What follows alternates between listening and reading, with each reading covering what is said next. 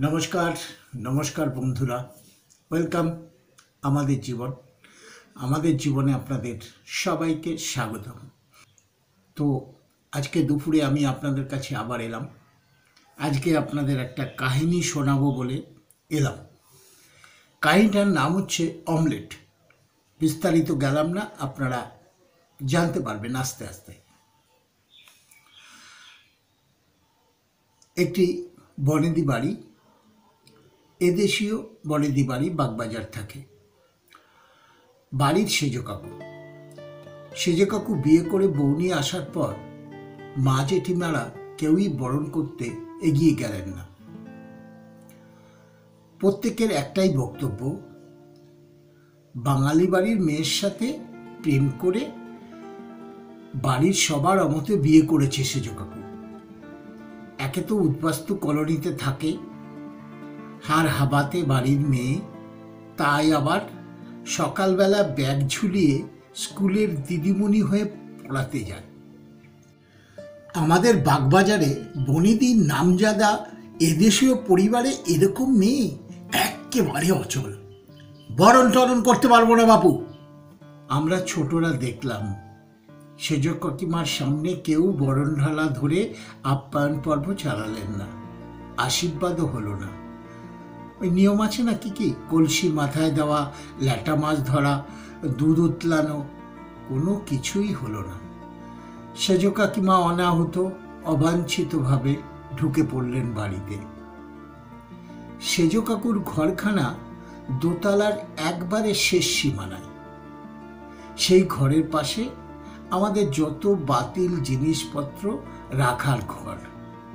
বাড়ির কেউই নিতান্ত প্রয়োজন ছাড়া খুব একটা সেদিকে যেত না। সেজ কাকিমার মুখোমুখি তাই এভাবে বাড়ির কাউকেই হতে হতো না। আমাদের বাড়িতে ওর কাটানো প্রথম দিনগুলিতে। সেজ কাকিমা, শ্বশুরবাড়ির মানুষজনের থেকে পাওয়া তীব্র অসম্মান মাথায় নিয়ে শুরু করলেন তার নতুন সংসার যাত্রা মর্নিং স্কুলে পড়াতেন সেজ কাকিমা। ভোরবেলা শুধু মুখে বেরিয়ে যেতেন বাড়ি থেকে। আমি কিন্তু দেখে এসছি, আমাদের বাড়িতে চিরকালই শুধু মুখে বাড়ি থেকে কাউকে বেরোতে না এবং বেরোনোটাকে নিতান্তই অকল্পনীয় ব্যাপার বলে মনে করা হয়। বাবা, জেঠু, কাকুরা কোথাও বেরোলে সবসময় চা, বিস্কুট এবং সামান্য কিছু হলেও জল খাবার খেয়ে বেরোন। কিন্তু সেজ কাকিমা, সেজ কাকিমার বেলায় সংসারের মঙ্গল, অমঙ্গলের কথা কেউ মাথায় আনলেনই না। রান্নাঘরে তার প্রবেশাধিকার নিষিদ্ধ ছিল। স্কুল পড়িয়ে টিউশনি সেরে সেজ কাকিমা বাড়ি ফিরতেন বিকেল নাগাদ। বাপের বাড়িতে দু ভাই বোন ছিল সেজ কাকিমা তাদের পড়াশোনার খরচও জোগাতেন। বিকেলে বাড়ি ফিরে সেজ কাকিমার কপালে কিছুই জুটত না। রাতে লিলুয়ার কারখানা থেকে বাড়ি ফিরে সেজ কাকু আমাদের খাবার ঘরে নিজে খেয়ে সেজ কাকিমার খাবারটা থালায় চাপা দিয়ে ওদের ঘরে নিয়ে যেতেন। গোটা পরিবারে মানুষের কাছে অন্তরাল বর্তিনী হয়েই থাকতেন সেজ কাকিমা। সেবার সেবার সাংঘাতিক বৃষ্টিতে কয়েকদিন ধরে জনজীবন একেবারে বিপর্যস্ত হয়ে গেল। থই থই করে জল জমেছে আমাদের বাড়ির চারপাশের রাস্তায়। বাড়ির পুরুষ মানুষরা কেউই বার হতে পারছেন না অফিস যাওয়ার জন্য। সেজ কাকিমা স্কুল যেতে পারছেন না। বাজার হাট সব কিছুই বন্ধ। এদিকে ঘরেও কিন্তু আনাজপাতি সব কিছুই বেশ বাড়ন্ত। দু তিন দিন খিচুড়ি খেয়ে আমরা একদম বিপর্যস্ত এবং বিধ্বস্ত। মন চাইছে ভালো কিছু খেতে, কিন্তু তার জন্য প্রয়োজনীয় জিনিসপত্র যোগান ঘরে এতটাই কম যে মা জেঠিমা হিমশিম খেয়ে যাচ্ছেন। এই ভেবে যে সবার পাতে এমন কি দেওয়া যেতে পারে যে প্রত্যেকেই একটু রসনা ও তৃপ্ত হয়। সেদিন সেজ কাকু, বৃষ্টির জল পেরিয়ে মুদির দোকান থেকে অনেক চেষ্টা চরিত্র করে কয়েকখানা ডিম পেয়েছিলেন।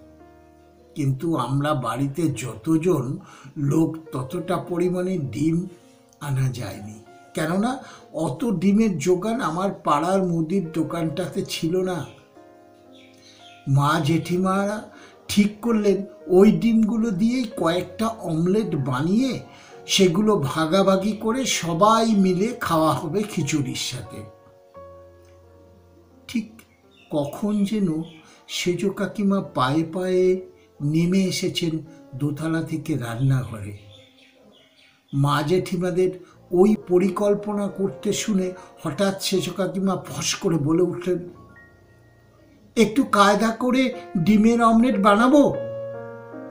তাহলে যতজন লোক আছে, ততজন লোক খুব ভালোভাবে গোটা গোটা ডিমের অমলেট খেতে পারবে। জেঠিমা কথাটা শুনে বলে উঠলেন তোমাকে রান্নাঘরে কে ঢুকতে বলেছে? বাছা, এটো কাটা বাজবিচার নেই। চলে এলেন অমলেট বানাতে আমাদের রান্নাঘরে। বাঙাল বাড়ির মেয়েরা জানতাম নির্লজ্জ হয়। এতখানি বিহায় হয়, এ তো জানি না বাপু। কথাগুলো জেঠুবাবুর কানেও গেছে। ততক্ষণে আমরা ছোটরা শুনে ফেলেছি তাই দাদা ভাই বলল, আহা, শোনোই না। তোমরা সেজ কাকিমা কীরকম অমলেট বানাতে চাইছেন? এই কটা ডিমে তো সবার গোটা অমলেট হতে পারে না। সেজ কাকিমার নতুন রান্নাটা কেমন হয় দেখি সবাই খেয়ে। অত্যন্ত বিরক্ত মুখে মা জেঠিমারা সেজ কাকিমাকে রান্নাঘরে ঢুকতে দিলেন। কিন্তু সে সময় তো আর বাড়িতে যখন তখন ক্যামেরায় ছবি তোলার চল ছিল না। চল থাকলে আমি নিশ্চিত। সেজ কাকু সেদিন সেজ কাকিমার মুখের একখানা ছবি তুলে রাখতেন। মুহূর্তটাকে পরবর্তীকালে দেখার জন্য। অপমার আর আনন্দে মিলে মিশে মানুষের মুখে যে সেদিন কি হাসিটা দেখা যায়, তা আমি প্রথম দেখতে পেলুম সেজ কাকিমার মুখখানা দেখে। সেজ কাকিমা বানিয়েছিলেন মুসুরির ডাল দিয়ে ডিমের অমলেট। প্রথমে মুসুরির ডাল খুব ভালো করে ধুয়ে কিছুক্ষণ সময় ভিজিয়ে রাখলেন সেজ কাকিমা। তারপর শিলনোড়ায় সেই ভেজানো ডাল পিষে পিষে বাটলেন সামান্য আদা কুচি, রসুন কুচি আর কাঁচা লঙ্কা দিয়ে। অত্যন্ত নিষ্ঠার সঙ্গে বাড়িতে থাকা সামান্য কয়েকটা পেঁয়াজ কুচিয়েছিলেন। সেদিন সেজ কাকিমা। তারপর ওই মুসুরির ডাল বাটার মধ্যে সামান্য সর্ষের তেল দিয়ে নুন দিয়ে ডিমগুলোকে ভালো করে ফাটিয়ে নিলেন। আমরা দেখলুম মুসুরির ডাল আর ডিম একসাথে মিশ্রিত অবস্থায় বেশ অনেকখানি গোলা তৈরি অমলেট বানানোর জন্য। তারপর আমাদের বাড়ির বড় চাটুতে সর্ষের তেল গরম করে সেজ কাকিমা দক্ষ হাতে ভাজতে শুরু করলেন এক একটি অমলেট।